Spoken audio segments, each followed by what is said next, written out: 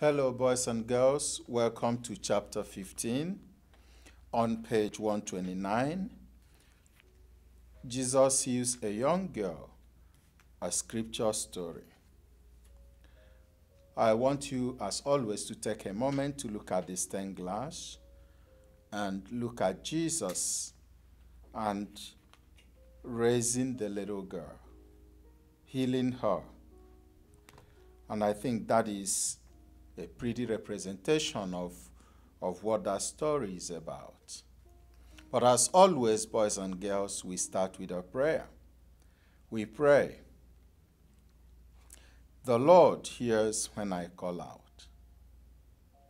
God, our Father, show our sick brothers and sisters the power of your loving care. Amen. This is a question for you, boys and girls. What are some things that cause people to suffer? What are some things that cause people to suffer? I think one of the most obvious things that cause people to suffer is uh, sickness. Um, sickness is cause people to suffer. It doesn't matter the form, whether they are minor or they are major, they cause people to suffer. Uh, you also think about poverty. Uh, when people don't have the basic things they need, they suffer. Um, you think of bad leadership, those things make people to suffer. We all know people who have been sick or have suffered in some way. The Bible has many stories about people who suffered. What does the Bible tell us about God when we are suffering? What does the Bible tell us about God when we are suffering? Something to think about, but also something to um, uh, look at now. Uh, the Bible gives us different uh, things, says different things about God's approach when we are suffering. But ultimately, the Bible tells us that God loves us and cares about us. And when we are suffering, God is very concerned. And that was why God sent Jesus to us. So, God cares. And that is uh, what God does when we are suffering. He cares, He comes to us to see how to end our suffering. I will now turn it over to Mrs. Stever to tell us something about suffering in the Bible. Bible background, page 130. Okay, boys and girls, check and make sure you're on that page. The faith focus what we're going to focus on in this chapter is what does the gospel story about Jesus and Jairus' daughter tell us? And then our vocabulary this chapter, our faith vocabulary is synagogue, a building in which Jewish people gather to pray and to read and study the scriptures and the law of God and other teachings of the Jewish religion. Let's read together. I'll read out loud and you follow there. Suffering in the Bible. The Bible story of creation tells us that God created everything and everyone good. God created us to be happy with Him and one another here on earth and forever in heaven. God's plan of creation did not include sickness and suffering. Suffering and illness came into the world as a result of our first parents' sin. Some people blame God for the suffering in the world. They sometimes turn away from God. Other people trust in God's great love for them when they suffer. They reach out to God in prayer we can read many of these prayers in the book of Psalms in the Old Testament. Now, if you have your Bible there, the activity they want you to do is look up Psalm 4 in the Bible. Choose a verse to comfort someone who is sick or suffering in some way and write the verse in the space. I'm going to get my Bible, you get your Bible. If you don't have it, listen to my words as I read Psalm 4, and then I'll make a suggestion of what I wrote as a possibility of a verse that might help somebody that's suffering. So I have my Bible here, and I'm going to read it for you. But if you have yours, you should be in the Psalms, and it's Psalm 4, and you can follow while I'm reading it. So it's Psalm 4 Trust in God. For the leader with stringed instruments, a psalm of David. Answer when I call my saving God. In my troubles, you cleared away. Show me favor. Hear my prayer. How long will you people mock my honor, love what is worthless, chase after lies?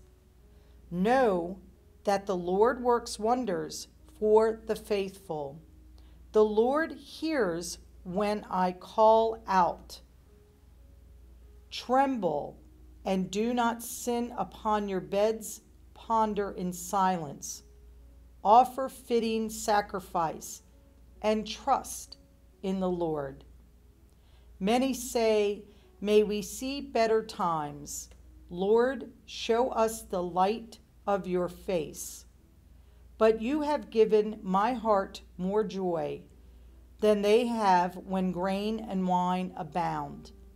In peace I shall both lie down and sleep. For you alone, Lord, make me secure. So you write down one of the lines in this psalm that you feel would be a good verse to help people that are sick and suffering. And if you don't have the words of the psalm there with you, hopefully you heard as I read and maybe am writing that down. What I wrote down was the verse Many say, May we see better times. Lord, show us the light of your face. Now let's go to reading the Word of God on page 131. And before we even begin to read, the title is Jesus Heals a Young Girl. But let's look at this picture on the bottom right. You have Jesus holding the hand gently of the little girl that's in her bed. And she must need some type of healing. She's sick, she's suffering, but Jesus is just, you can see in the picture just through their eyes, their eyes are looking at each other. And in the picture of this image of Jesus comforting this child by just the gentle touch and probably followed by very gentle, caring words. Let's now read this page of the chapter, and it begins Jesus heals a young girl. People turn to Jesus in times of suffering one time, Jairus, an official of the synagogue, came to Jesus. Read what happened. And in blue, this is scripture, and it's based on Luke. One day, when Jesus and his disciples were entering a town, Jairus came to Jesus. He fell on his knees and begged Jesus to come to his house because his 12 year old daughter was dying. Jesus went with him. And as they came toward Jairus' home, someone from his house came and said to Jairus, Your daughter is dead. Do not trouble the teacher any longer. On hearing this, Jesus said, Do not be afraid. Just have faith and your daughter will be saved. Hearing what Jesus said, many people ridiculed him because they knew that the little girl was dead. So Jesus went over to Jairus' daughter, took her by the hand, and called to her, Child, arise. The girl immediately arose. We believe and trust in Jesus. We turn to him when we or other people are suffering. And now we can look at that picture even more clearly that it wasn't that Jesus even came to this young child and she was alive, but that he went over and held her hand and brought her to life, is the picture and the image that we're looking at. That asks the questions on what did Jairus ask Jesus? So as we read the scripture, Jairus asked for him, Jesus to go to his home because he knew that his daughter was dying and it was if there was something he had belief in Jesus and could there be something that Jesus could do and it said what might you ask Jesus when you or a member of your family is sick so think about that kind of silently or quietly I know when I have a family member or if I am sick or I have a good friend somebody a colleague anybody in my life you know, I always do pray for them.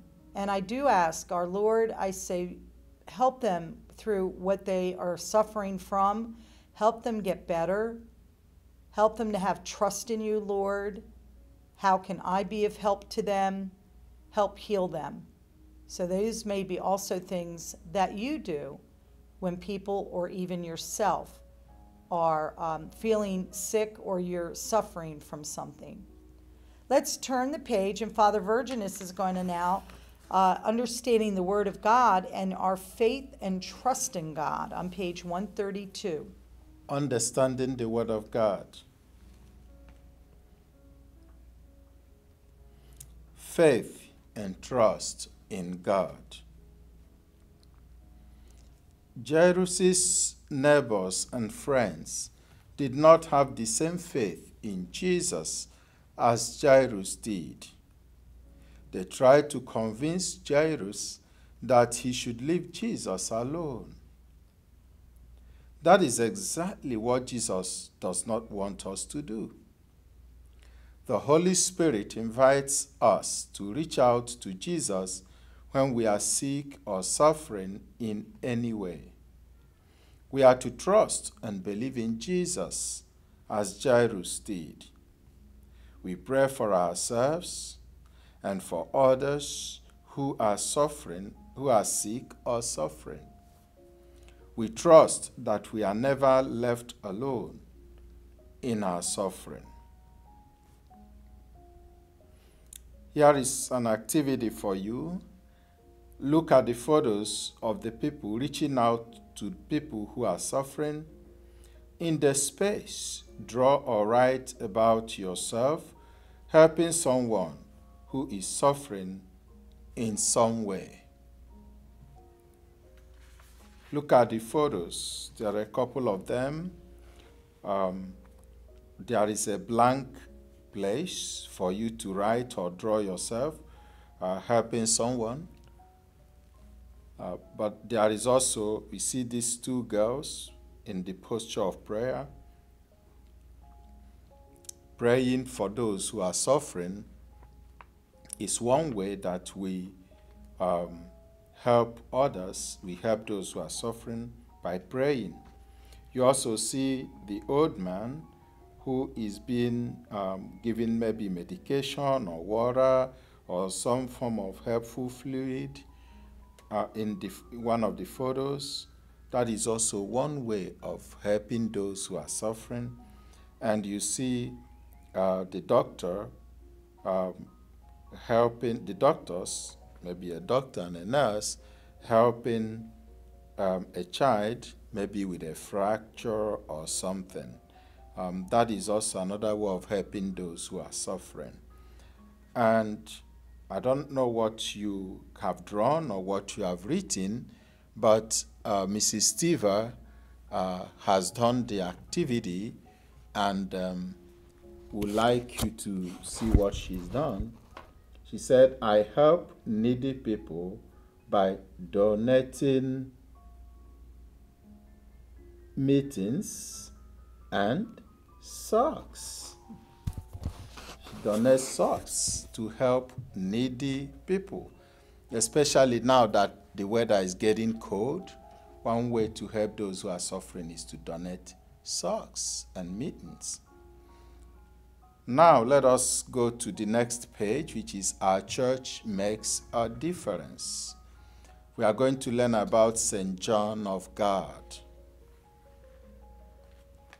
Christians have always shared the good news of God's caring love with people who are suffering.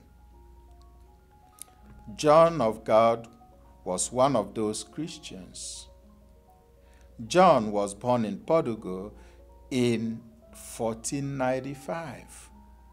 He served his country as a soldier, worked as a shepherd, and at times sold books.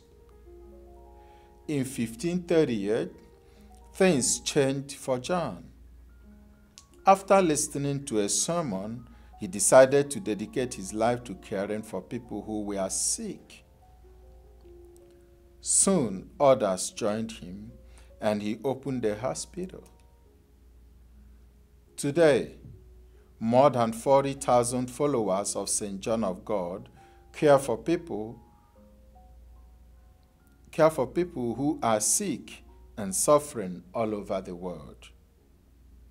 The church has named John of God a saint. He is the patron saint of hospitals, people who are sick, and nurses. His feast day is celebrated on March the 8th.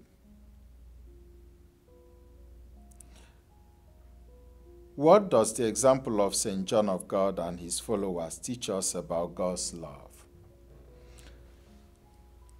As we reflect on that question, um, you see the stained glass with the image of St. John of God helping, caring, loving, and caring a man who was sick.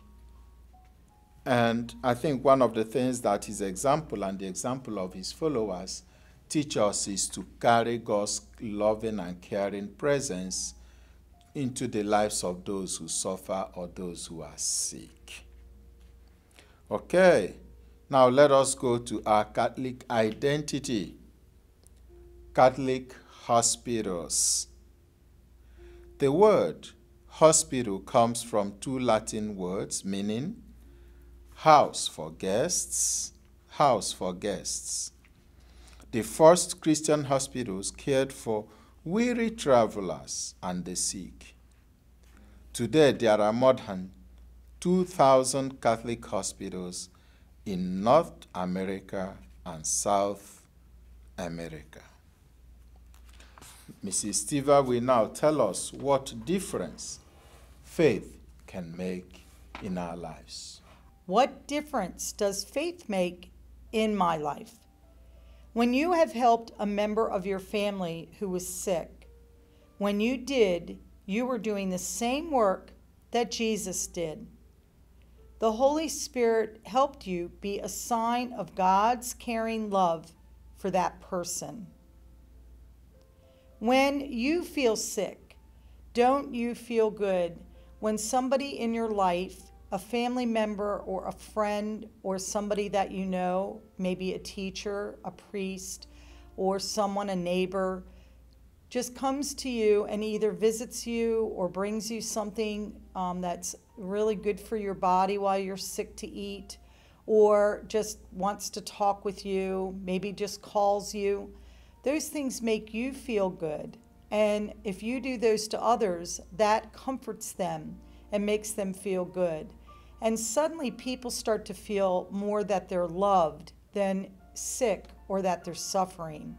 Even if it's a moment of love, that's what they feel.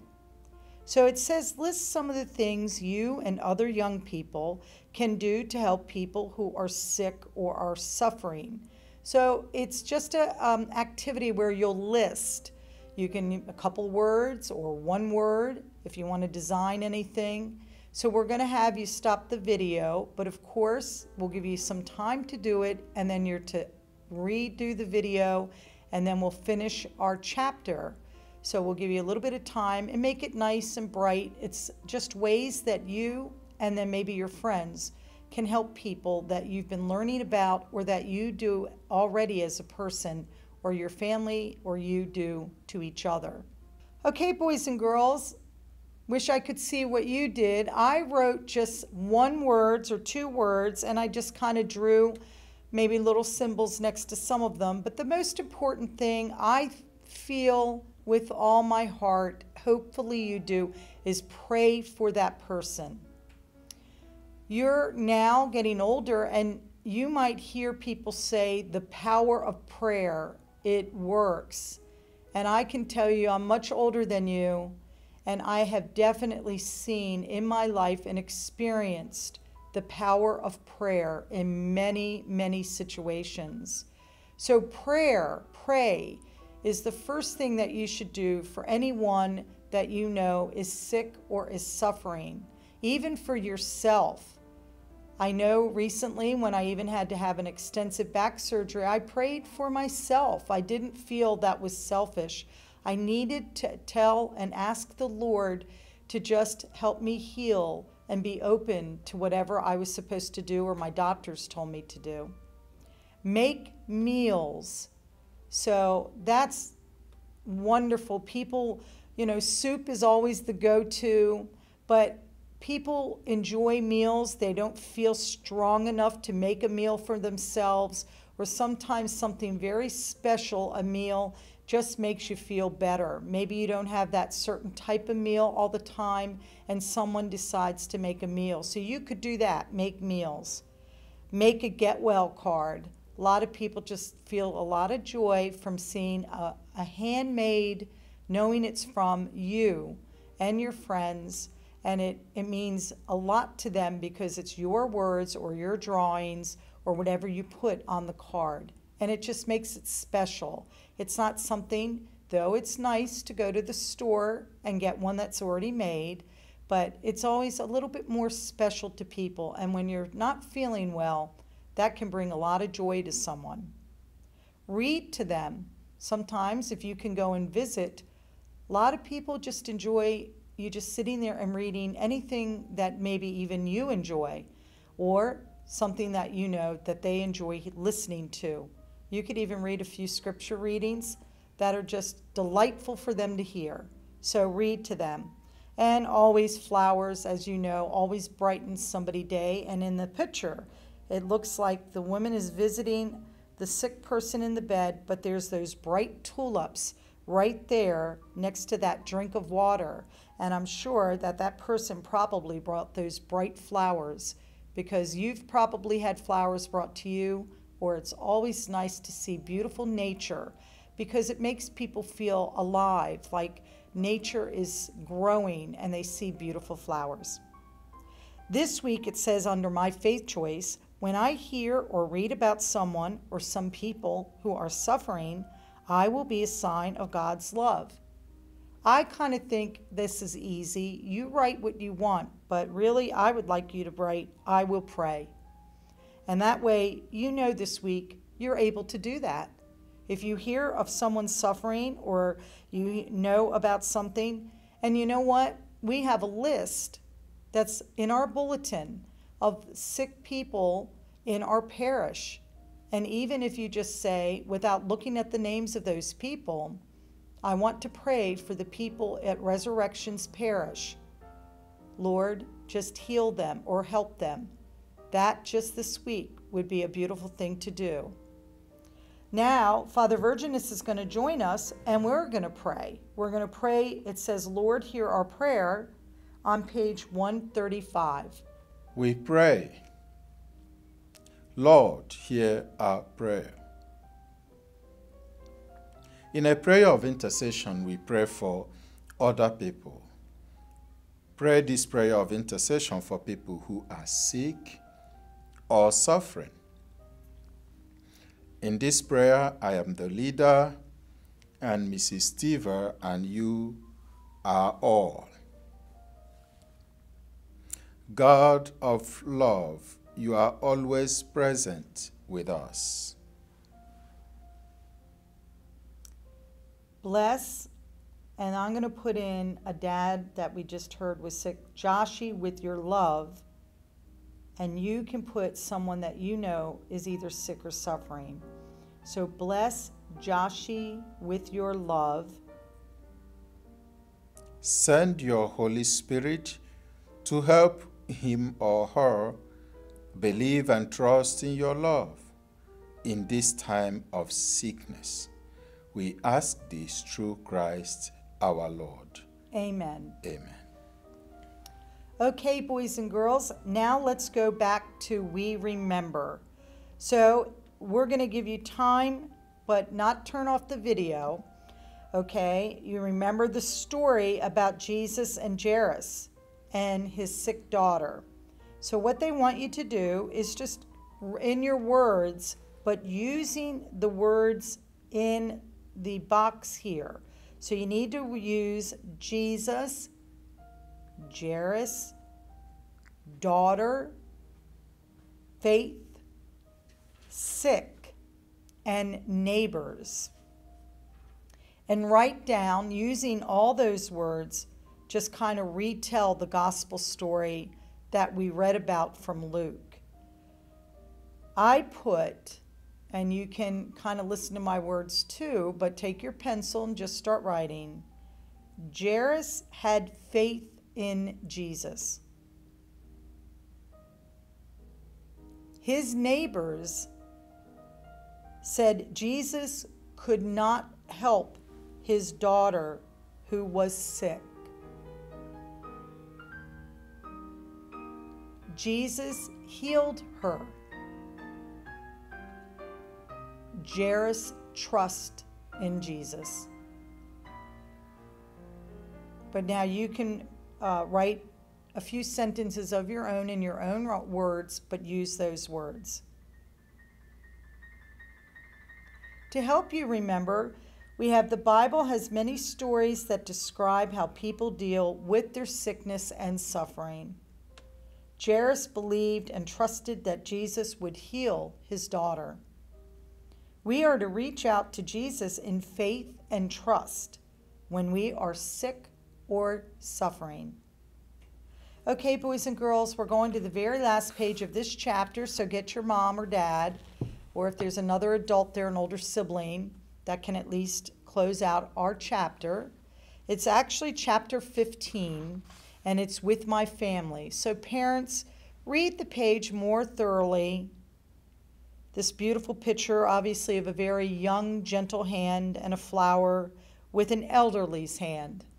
And it just really does say it all of just what can help or comfort someone that is suffering and just see the gentleness of our young person.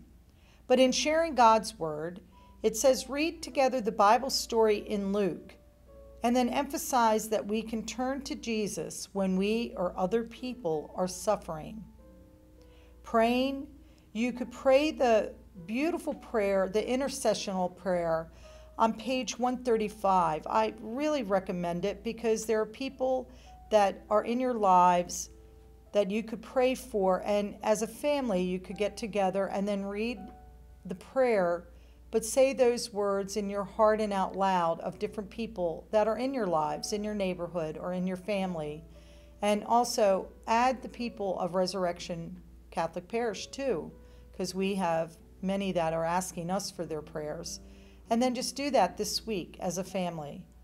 In making a difference, it has a couple opportunities, or perhaps you know one that would be very helpful for what the children have just learned about their Catholic faith and suffering and their trust in God when they're sick. But I highlight name some ways that your family can reach out to others who are suffering, and then choose one thing that you will do as a family this week. So I kind of already gave you a hint of praying for people this week, but maybe there's something else that you could do as a family. Visit, make a card, make a phone call, whatever. So, Father Virginus, let's close this chapter, as we do always, with a prayer or blessing from you. The Lord be with you. And with your spirit. Almighty God bless you, the Father, and the Son, and the Holy Spirit. Amen. Thank you for your time. We hope you enjoyed this session. Enjoy the rest of your week. God bless you and your families. God bless you.